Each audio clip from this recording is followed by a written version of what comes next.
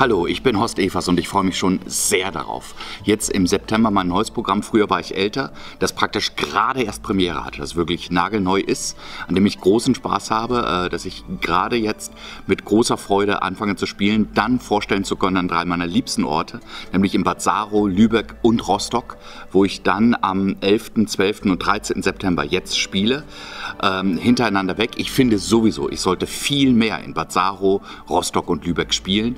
Eigentlich eigentlich, aber bin froh, dass es jetzt endlich mal wieder soweit ist. Bis dahin.